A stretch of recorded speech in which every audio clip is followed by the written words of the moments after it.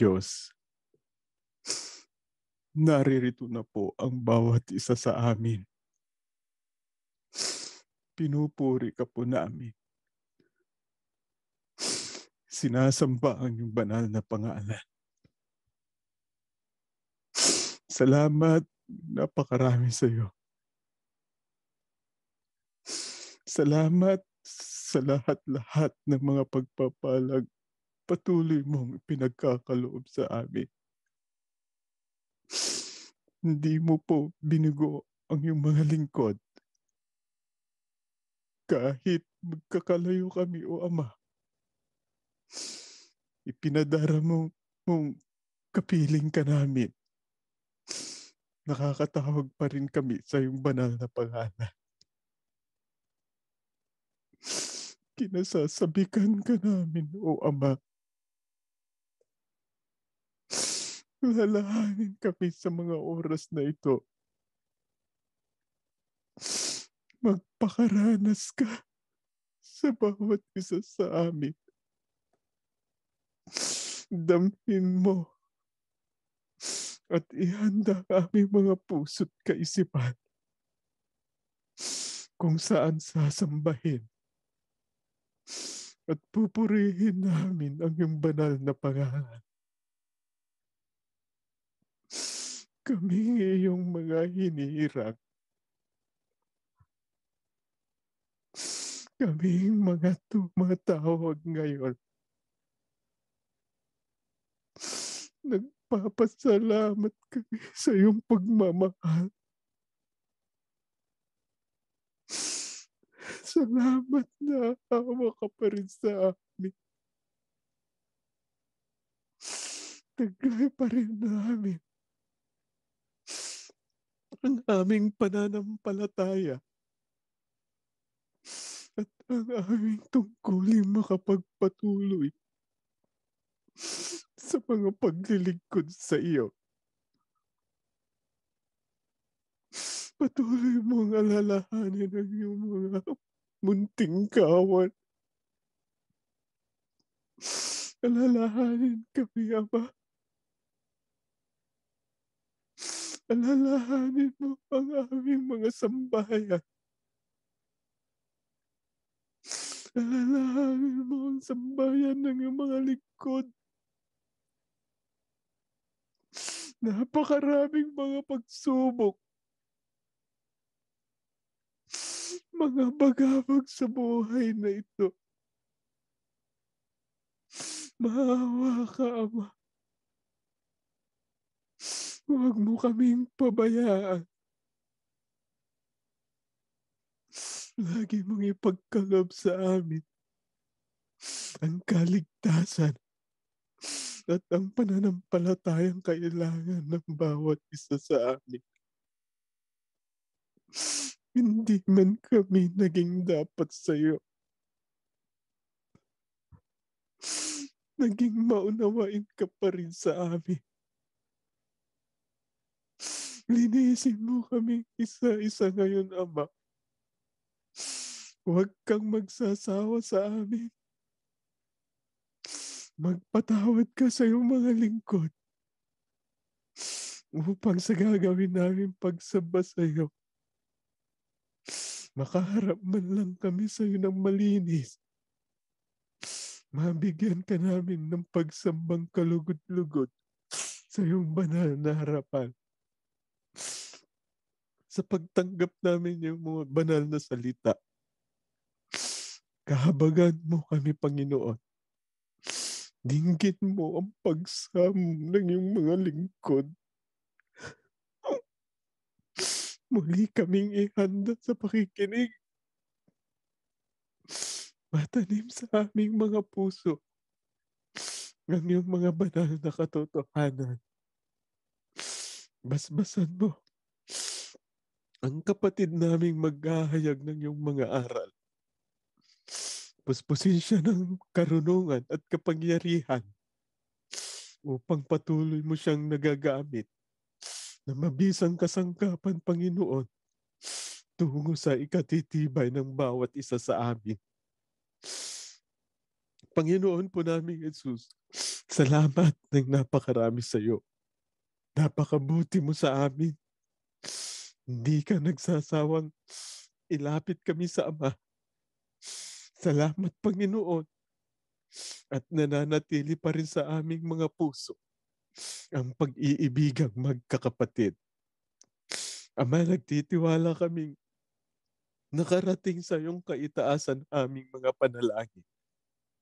Sapagkat ang lahat ng ito'y aming pong hinihiling sa aming tagapagligtas na si Kristo Jesus. Amen. Mga mahal na kapatid, ang pag-aaralan po natin ay hango sa leksyong inihanay ng kapatid na Iranyo Manalo na may pamagat na paano patutunayan ang ating pananampalataya at pagtitiwala sa Diyos. Ang isa po sa mga pangunahing doktrina na ating tinanggap sa Iglesia ni Kristo ay ang kahalagahan ng pagtataglay ng pananampalataya at pagtitiwala sa Diyos. Hindi po sapat na kinikilala natin ang isang tunay na Diyos gaya ng paniniwala ng ibang mga tao. Ang higit at lalo pong mahalaga ay magkaroon tayo ng pananampalataya at pagtitiwala sa Kanya. Subalit paano po natin patutunayan ang ating pananampalataya at pagtitiwala sa Diyos? Ito po ang mahalagang pag-aralan natin ngayon. Maaari bang lumapit sa Diyos at maging kalugod-lugod sa Kanya kung walang pananampalataya? Diyan tayo magpasimula. Ang sagot ay babasahin natin sa Ebreo 11.6 hindi maaring kalugdan ng Diyos ang walang pananampalataya sa Kanya. Sapagkat ang sino mang lumalapit sa Diyos ay dapat sumampalatayang may Diyos. At siya ang nagbibigay ng kantimpala sa mga humahanap sa Kanya. Maaari bang maging kalugod-lugod sa Diyos ang sino mang walang pananampalataya? Ang sagot po ng Biblia, hindi. Hindi maaring kalugdan ng Diyos ang walang pananampalataya sa Kanya.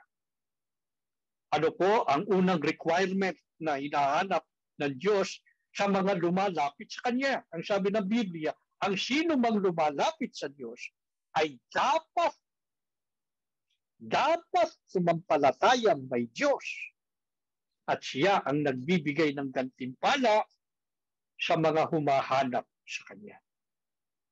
Sino po ang mabuting halimbawa ng lingkod ng Diyos? Naganap na nagtiwala sa Kanya. Ano ang naging saligan ng kanyang matibay na pananampalataya sa Diyos? Pakinggan ninyo sa Roma 4.18 hanggang 21. Kahit wala nang pag-asang magkaanak, nanalig pa rin si Abraham na siya'y magiging ama ng maraming bansa. Ayon sa sinabi sa kanya, Sindami ng mga bituin ang iyong magiging lahi. Hindi nang hina ang kanyang pananampalataya kahit uugod-ugod na siya. Palibasa isang daang taon na siya noon at ang kanya namang asawang si Sarah ay baog. Hindi siya nag-alinlangan sa pangako ng Diyos. Sa halip, lalo siyang lumakas dahil sa kanyang pananampalataya at nagpuri pa sa Diyos. Lubos siyang naniwala, natuto pa rin ng Diyos ang ipinangako nito. Mga kapatid, si Abraham po ang isang mabuting ehemplo kapag ang pag-uusapan ay ang pananampalataya. Paano niya pinatunayan ang kanyang pananampalataya sa Diyos? Sabi po ng Biblia, kahit wala ng pag-asang magkaanak, nanalig pa rin si Abraham na siya'y magiging ama ng maraming bansa ayon sa sinabi sa kanya. Bakit? Sino ba ang nangako sa kanya na siya magkakaanak? Ang Diyos. Eh, ang problema, nang sabihin ng Diyos sa kanya ang pangakong yun, ilang taon na siya mga kapatid? 100 years old. Kaya nga ang sabi, eh, uugod-ugod na siya. Oh. Hindi lamang yun. Si Sarah na asawa niya, baod pa. Kaya sa panukat at paningin ng tao, impos- imposible na silang magkaanak. Eh dahil marito ay nag-agam-agam o nag-alinlangan si Abraham sa pangako ng Diyos. Hindi. Sabi ng Biblia, hindi siya nag-alinlangan sa pangako ng Diyos. Sa halip, lalo siyang lumakas dahil sa kanyang pananampalataya at nagpuri pa sa Diyos. Ano naging saligan ng kanyang matibay na pananampalataya sa Diyos? Ang sabi, lubos siyang naniwala, natuto pa rin ng Diyos. Tuto pa rin ng Diyos ang ipinangako nito. Bakit? Napakatibay ng pananampalataya ni Abraham sa Diyos. Basahin natin muli ang Roma 4.21 sa dating challenge. At lubos na nalig na ang Diyos na nangako ay may kapangyarihang makagawa noon. Bakit napakatibay po ng pananampalataya ni Abraham sa Diyos? Sa pangako niya, sabi ng Biblia, si Abraham ay lubos na nalig na ang Diyos na nangako ay may kapangyarihang makagawa noon. Hindi naman tao ang nangako eh. Sino ang nangako kay Abraham? Ang Diyos na may kapangyarihang makagawa noon. Eh, ang Diyos yung makapangyarihan sa lahat, di ba? Meron bang imposible sa Diyos, mga kapatid? Tatanungin ko kayo. Wala, di ba? Lahat ay posible sa Diyos sapagkat makapangyarihan siya sa lahat. Ito ang pundasyon ng pananampalataya ni Abraham sa Diyos. Ganito rin po dapat ang maging pananampalataya natin sa Diyos. Magtiwala tayong lubos na sa kamay at kapangyarihan ng Diyos, tayo magiging ligtas at panatag anuman ang maging kalagayan ng ating buhay at anuman ang mangyari sa mundo. E maipagpapanggap ba ng sinuman ang pananampalataya niya sa Diyos? Paano makikilala ang mga lingkod ng Diyos na tunay na sumasampalataya at nagtitiwala sa kapangyarihan niya? Ano ang katangian ng mga sumasampalataya sa kapangyarihan ng Diyos? Hebreo 22 hanggang 23. Kaya't lumapit tayo sa Diyos ng may pusong tapat at may matibay na pananampalataya sa Kanya. Lumapit tayong may malinis na budi sapagkat nilinis ng ating mga puso at hinugasan na ng dalisay na tubig ang ating mga katawan. Magpakatatag tayo sa ating pag-asa at huwag, huwag nang mag-alinlangan pa sapagkat tapat ang nangako sa atin. Ano po katangian ng mga sumasampalataya sa kapangyarihan ng Diyos? Ayon sa Biblia, sila'y nagpapakatatag sa kanilang pag-asa at hindi kailanman mag-aalinlangan. Bakit? Ang sabi ng Biblia, sa pagkatapat ang nangako sa atin, ang Diyos. Hindi naman tao ang nangako eh. Ang tao, eh, madalas, eh, hindi natutupad ang kanyang sinasabi. Pero ang Diyos, pagka nag, nag, nangako, eh tapat. Tiyak, natutuparin niya ang kanyang pangako. Kaya nakatanim sa puso ng mga tunay na lingkod ng Diyos. Na siya'y makapangyarihan sa lahat.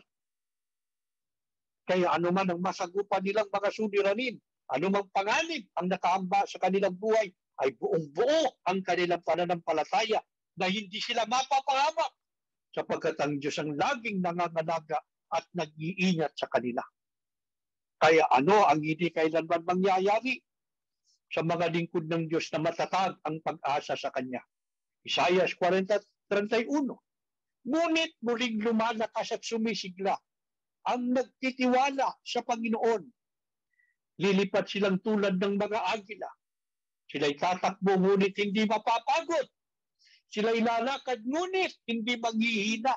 Ano ang hindi kailanman mangyayari sa mga lingkod ng Diyos na matatag ang pag-asa sa Kanya? Ayon sa Biblia, Sila'y tatakbo ngunit hindi mapapagod. Sila'y lalakad ngunit hindi manghihina. Sa makatwid, ang katunayan po ng ating matibay na pananampalataya at pag-asa sa Diyos, hindi tayo kailanman manghihina. Siguro, sa dami ng mga alalahanin, mga pagsubok, mabibigat na mga pagsubok, sila nangihina ka. Pero agad bumabalikwas ang tunay na lingkod ng Diyos, Lalo na pagka nagunita niya ang pangako ng Diyos. Nagpapanibagong sigla kaagad siya. Kaya ano lamang ang ibig sabihin kapag ang isang kapatid ay nanghina at nawala ng pag-asa, eh hindi siya tunay na sumasampalataya sa kapangyarihan ng Diyos. Paano pa makikilala ang mga tunay na sumasampalataya sa kapangyarihan ng Diyos? Nananangan ba sa sariling karunungan o kaalaman ang tunay na sumasampalataya sa kapangyarihan ng Diyos? Pakinggan ninyo sa Kawikaan, 3.5 hanggang 7. Sa Panginoon ka magtiwala, buong puso at lubusa. At huwag kang mananangan sa sariling karunungan.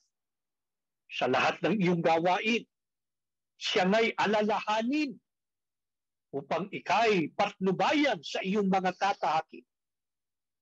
Huwag, huwag mong ipagyabang ang iyong nalalaman. Igalang mo't sundin ang Panginoon at lumayo ka sa kasamaan. Nananangan ba sa sariling karunungan o kaalaman? Ang tunay na sumasampalataya sa kapangyarihan ng Diyos? Hindi po. Bakit? Ano ba tagubilin ng Diyos sa mga lingkod niyang sumasampalataya sa Kanya? Ang sabi ng Biblia, sa Panginoon ka magtiwala. Buong puso at lubusan. Paano yon? Huwag kang mananagan sa sariling karunungan. Sana oh, narinig ito ng mga kabataan. Huwag tayong mananangan sa sariling karunungan. Paano ito patutunayan? Ang sabi, sa lahat ng iyong gawain, siya ay alalahanin upang ikaw ay patnubayan sa iyong mga tatahaki. Kaya ang lingkod ng Diyos na sumasampalataya sa Diyos, nagtitiwala, laging sumasangkuni sa Diyos sa pamamagitan ng panalangin para patnubayan siya sa kanyang mga tatahaki. E paano kung nagtamo na ng karunungan at kaalaman? Ano pa't pasasabi nating maging marunong na siya? Ang sabi, huwag mong ipagyabang ang iyong nalalaman. Igalang mo at sundin ang Panginoon at lumayo ka sa kasamaan. Napansin ba niyo yun? Kasi di ka sa tao nakakalimot. Pagka naging marunong na, pagka naroon na siya sa mataas na kalagayan, kaya sabi ng Diyos, huwag mong ipagyabang ang iyong nalalaman. Igalang mo at sundin ang Panginoon. Lumayo ka sa kasamaan. Ito ang problema sa iba, mga kapatid. Naging marunong lang at matalino ay naging mayabang at panalo na. Ayaw na silang tumanggap ng payo sapagkat ang akala nila ay alam na nila lahat. Eh, lalong masama kung ang lingkod ng Diyos ayaw na hindi na sumasamba. Nakalimutan na niya ang Diyos. Naging abala na siya dahil marunong na siya. Marami na siyang inaasikaso. Punong-puno na ang buhay niya, ang isip niya. Ng mga intindihin sa buhay, ng kanyang mga ginagawa para sa buhay na ito. Nalimutan na niya ang Diyos. Ang masama. Eh ano ang lalong masamang nangyari sa ibang mga lingkod ng Diyos? Hindi lamang naging mayabang at palalo nung nasa mo ang karunungan at kapangyarihan, kundi naging masama pa. Kaya pinapansin ko sa inyo kanina eh, yung huling salita ng Diyos. Sabi ng Diyos, huwag mo ipagyabang ang iyong nalalaman, igalang mo sundin ng Panginoon, at yung huli, at lumayo ka sa kasamaan. Yun ang naging masama sa iba. Naging masama. Naging marunong lang, matalino, nakarating sa mataas na kalagayan, nagkaroon ng kapangyarihan, ay naging masama. Naging tiwali. Naging malupit. Naging mapang-api at mapanglupit. Naging sinungaling at mandaraya. Ginamit pa ang karunungan at kapangyarihan para itulak ang iba. Para maging saksing sinungaling. Para sirain ang kapwa at kapatid nang uudyok ng iba para pumatay at iba pang masasamang gawa. Masama. Karumal-dumal sa harap at paningin ng Diyos. Ano nalimutan ng gayong mga lingkod sana ng Diyos? Nakalimutan nilang may Diyos na makatarungan at makatwiran sa lahat. Naglaho ang kanilang pananampalataya sa kapangyarihan ng Diyos sapagkat kung hindi, hindi nila kailanman gagawin ang mga bagay na kinasusuklaman ng Diyos. Di ba, mga kapatid? Ito po ang wag na wag nating papayagang mangyari sa atin. Huwag nating papayagang kumupas at maglaho ang ating pananampalataya sa Diyos at sa kanyang kapangyarihan. Sumampalataya tayong lubos na kapag gumawa tayo ng masama, ay magagalit siya at tiyak na tayo parurusahan. Sumampalataya tayong lubos na lansat sa kanyang paningin ang lahat ng ating gawa. At ito ang magtulak sa atin upang magsikap na mabuhay na kalugod-lugod sa kanyang paningin. Sumampalataya tayong lubos na kapag pinaglingkuran natin siya ng buong katapatan, ay toto pa rin niya ang lahat ng ipinangako niya pagkakaloob sa atin ang buhay na walang hanggan at ibibigay ang karapatan sa paninirahan sa bayang banal. Totoo ba yan mga kapatid? Sino nga ba sa mga tao ng Diyos ngayon ang magiging mapalad?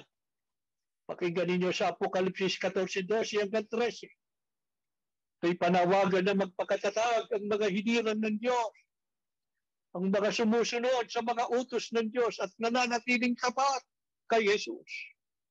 At narinig ko mula sa langit ang isang tinig na nagsasabi, isulat mo mula ngayon.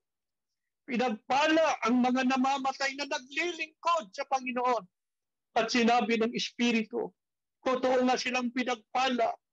Magpapahinga na sila at nasa kanilang mga pagpapagal sapagkat sinusundan sila ng kanilang mga gawa. Sino nga ba sa mga tao ng Diyos ngayon ang magiging mapalad? Sabi ng Biblia, pinagpala ang mga namamatay na naglilingkod sa Panginoon. Bakit napalad? Anong kanilang kapalaran? Sinabi ng Espiritu, totoo nga, silang pinagpala. Magpapahinga na sila sa kanilang mga pagpapagal sapagkat sinusundan sila ng kanilang mga gawa. Kaya ano panawagan sa atin sa mga huling araw na ito? Ano man ang mangyari sa ating buhay, gaano man kabigat ang mga pagsubok na dapat nating harapin pa. Ang sabi, ito'y panawagan na magpakatatag ang mga hinirang ng Diyos, ang mga sumusunod sa mga utos ng Diyos at nananatiling tapat kay Jesus nananawagan sa atin ng Diyos sa mga huling araw na ito. Lalo tayong magpakatatag. Lalong maging matatag ang pananalig at pagtitiwala sa Diyos. Sinabi ng Diyos yan noon pa sapagkat alam niya itong mga huling araw na ito ay magiging masalimuot masasaksihan natin ang mga nakapangingilabot na mga pangyayari. Mga pangyayaring hindi natin kailanman nasaksihan pa. Pero magaganap. Katunayang malapis na ang araw ng pagparito ng Panginoong Yesus para wakasan ng sanlibutan. Pero ang araw na yon para sa atin ay dakilang araw, ang araw na mapalad para sa atin sapagkat yan ang araw ng ating kaligtasan. Pero ano kailangan? Kailangan tayong magpakatatag para wag tayong ma panghinaan ng loob, wag tayong maikupo ng mabibigat na mga pangyayari at mga karanasan sa buhay na ito. Pinakamabuti mga kapatid, lagi nating isandig sa Diyos ang ating buhay, lalo na ang kapakanaan ng ating paglilingkod sa Kanya. Tama ang ginagawa ng marami sa inyo hindi tumitigil sa pananalangin. Panalangin pansarili. Meron ding panalangin pansambahayan. Dumadalo rin araw-araw sa panata na ating ginagawa. Huwag nating titigilan yan para manatili ang ating katapatan sa Diyos at sa Panginoong Iso Kristo. Ano man ang mangyari pa sa ating buhay, kung may mga sambahayan, na nagkahiwa-hiwalay dahil sa matinding pagsubok at paghuhusik. Saan man naroroon ang mga magulang, saan man naroroon ng mga anak. Magunita nawa ng Ama. Pagpalain ng mga may sakit. Pagalingin ang mga karamdamang saglay. Ang mga nahihirapan sa buhay dahil sa matinding krisis na nagaganap ngayon sa daigdig. Baka mayroong mga nawalan ng anak buhay. Sa pagsambang ito ay magunita nawa ng Ama. At sa pagsambang ito, ibasbas ng Diyos sa ating lahat ang tunay na kapayapaan at kaligayahan sa paglilingkod sa Kanya sapagkat lubos na sumasampalataya pagkakapiling natin ng Diyos sa buhay natin at ang ating Panginoon Kristo. Dumating na ang dumating sa mundong ito. Pero tayo magiging panatag na magpapatuloy hanggang wakas. Sapagkat hindi tayo pababayaan ng Ama at ng Panginoong Yesu Kristo. Pagpalain nawa tayong lahat. Tumayo kayo at tayo'y mananalangin. Ama naming Diyos, salamat ng marami sa iyo Muli kaming nakadalo sa pagsamba kahit napakahirap ng aming kalagayan sa kasalukuyan. Ibinibigay mo rin sa amin ang pagkakataon at laging nananatili sa puso namin ang matatag na pananampalataya. Ang paghahangad na ikaw ay lagi naming sambahin. Purihin namin ang iyong pangalan habang kami ay nabubuhay. Opo, mabigat ang pagdadala ng buhay. Hindi madali ang bawat lumilipas na araw sa buhay namin. Alam mo yun, Ama, kung ano ang aming pinagdaraanan araw-araw. Alam mo kung ano ang aming sinasagupa. Bawat sandali sa buhay namin. Kung ano nagpapahirap ng aming mga kalooban. Pero pagka sumasapit ang araw at oras ng aming pagsamba, buong kasabikan kaming umarap sa iyo. Sapagkat hindi lamang namin matutupad ang napakahalagang tungkulin namin sa iyo, kundi muli naming masasamo ang pagpapalang espiritual na ipinapaspas mo sa aming pagsamba. Minsan pa, Ama, narito na yung mga anak nagmamakaawa kami sa iyo mula sa langit na yung tahanan. Itoon mo muli ang iyong paningin sa amin. Ikiling mo ang iyong pakinig. Marami kaming idinadaing sa iyo. Kanina pa sa aming pagkakaupo, nanalangin ang mga lingkod mo. Inisa-isa sa iyo ang kanilang pangangailangan. Nagmamakaawa kami ngayon sa isang tinig na ito na hindi mo aming mga pag-ibig. Palakasin mo bawat isa sa amin. Dalawin mo naming sambayan. Saan man kami nakatira sa iba't ibang panig ng mundo. Kayang-kaya mo kaming puntahan. Dalawin mo kami, Panginoon. Basbasan mo ang mga magulang. Pagpalain mo ang mga anak. Panalanin mo ang mga sambayang nagkaiwalay. Oo, mama, mama, bigyan mo sila ng kaaliwan. Ang mga anak na naaalala ang mga magulang, ang kanilang mga mahal sa buhay na nasa bilangguan. Alam na alam namin kung anong kanilang mga nararamdaman kung gaano kabigat sa kanilang kalooban ang kanilang mga pinagdaraanan. Wala kaming magagawang tulong para sa kanila. Ikaw lamang ang magkatutulong sa kanila. Kaya sa ganito naming mga pananalangin, lagi silang kasama sa aming mga idinadaig. O Ama,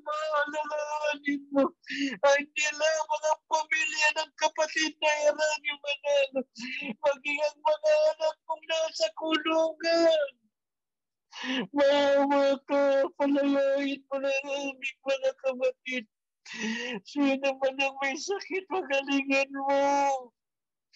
Mawala ang pag-aalala ng mga mahal sa buhay.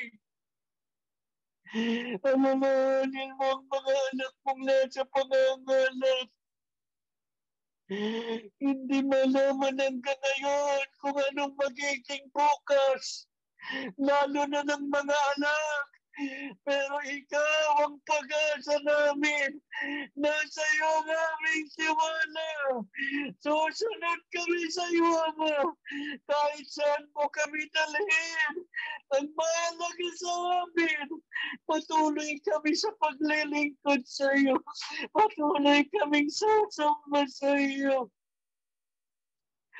Magtitiis kami Patuloy kaming magtitiis. Buong saka kaming susunod sa iyo. Huwag mo lamang kaming pababayaan. Sinanay mo na kami sa kahirapan. Sinanay mo na aming kalooban sa maraming kabigatan ng buhay at kapahitan.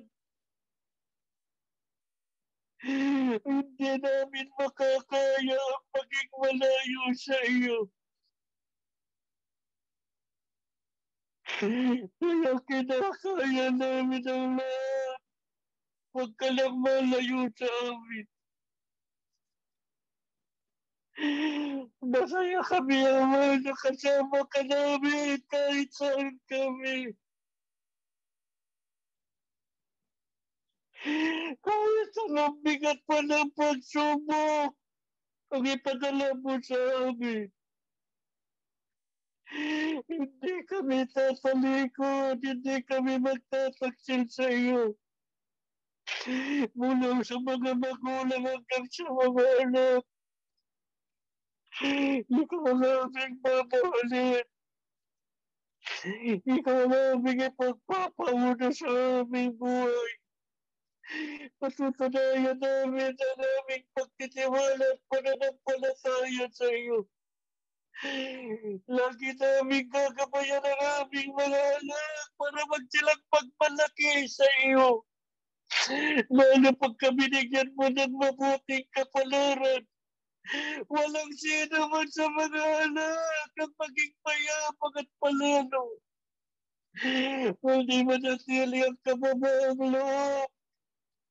Manatili ang pagkamasunurin sa iyo. Isang araw mula ngayon. Darating ang iyong anak Pinakahintay namin ang araw ng kanyang pagbabalik. Panginoong Jesus, sa pagbabalik mo, nakasabay na kami. Naghahanda na kami.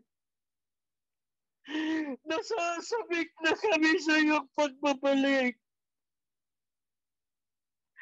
Huwag mo kaming lilimutin. Ipunin mo kami bawat pamilya sa bayang panag. Magsama-sama kami mabuhay. Nagmalwalahating pamumuhay magpakailan-kailanman.